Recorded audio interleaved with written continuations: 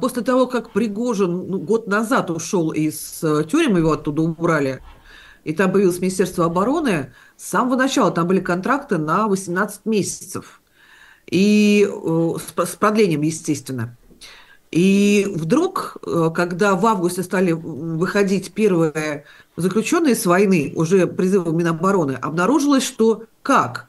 Тоже полгода, и дальше они помилованы. Почему?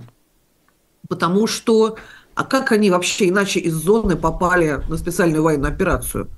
А, на основании чего? Ну хорошо, их а, заключил контракт Министерства обороны. А кто их отпустил-то? А, значит, только механизм помилования. А механизм помилования, значит, через полгода. И вот а, подсуетились, и к лету придумали э, закон, быстренько приняли в Думе, придумал его Павел Крашенинников, глава Комитета по законодательству Госдумы, и ввели совершенно новый вид освобождения заключенных из тюрем.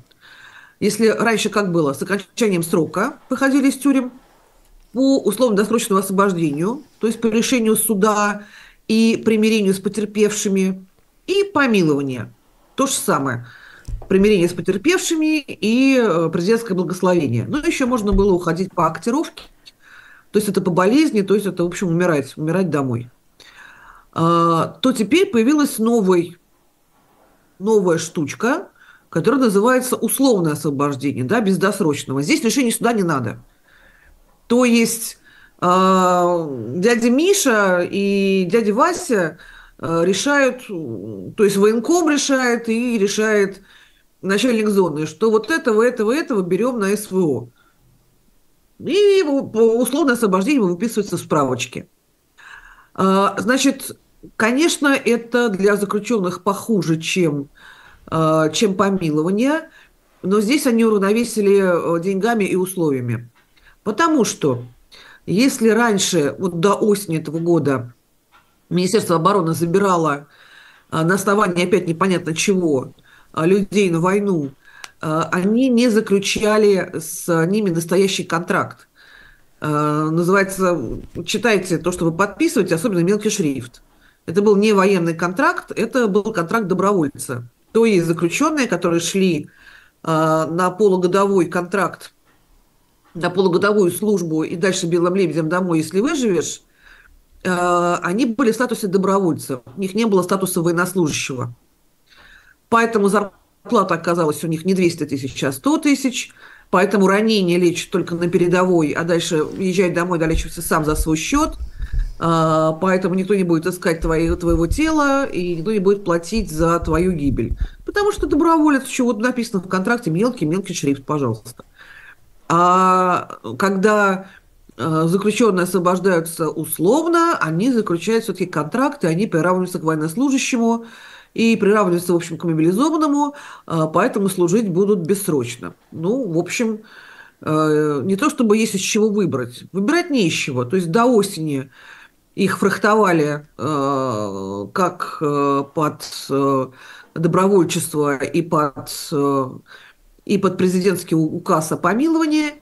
А после осени, когда сообразили, что сил уже никаких нет, жены мобилизованных недовольны, все бухтят, и говорят, кривая преступность вверх поползла, и что-то какие-то недовольные потерпевшие, мало того, что потерпевшие опять недовольные, надо что-то с этим делать. Ну, вот и сделали. То есть фактически сейчас э, э, людей в, в армию берут э, э, до тех пор, пока не кончится война, она не кончится э, в обозримом будущем. А, да, более того, э, вчера и позавчера начали писать очень многие каналы, связанные с тюрьмой, про случаи, надо сказать, не, не исключительные, когда одни заключенные Э, ну, мошенничают, да, вымогают у других заключенных деньги и довольно большие деньги э, за устройство на э, СВО. Mm. И как рабочая схема? Насколько это распространено? Рабочая, 300 тысяч стоит услуга, схема не рабочая. Потрясающе. Заберут по-любому, но если хочешь побыстрее, там надо платить деньги. Но там, судя по всему, в доле сотрудники ФСИН, потому что парень, который провернул это с несколькими своими сказать, собратьями по бараку, по несчастью, быстренько был переведен в другую зону. После того, как собрал урожай, его перевели в другую зону. И что там не сделаешь, я вообще в другом городе живу.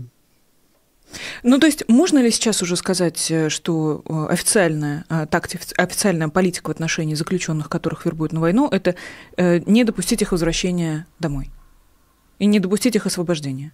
Не допустить их освобождения, не допустить их возвращения домой, успокоить тем самым и жен мобилизованных, и, собственно, негодующую общественность. В общем, прошло всего два года – Э, как до этого, в общем, дотумкали. Ну, ну то есть э, таких историй, которые, вот, например, обсуждаются в последнее время, у э, человека забыл точно его фамилию, который убил, изнасиловал маму двух детей, и потом через три месяца вернулся к себе домой, вот таких историй станет меньше, я правильно понимаю? Не то чтобы их не будет, будет, их станет меньше. Значит, смотрите, в октябре начали вербовать в зонах после условного освобождения Э, то есть тех, кого завербовали, например, в сентябре, э, они будут помилованы. Они будут помилованы в марте, и поэтому еще будут в феврале выходить э, к тем, кто был завербован там в июле и так далее. Так что пока а... этот поток не иссякает.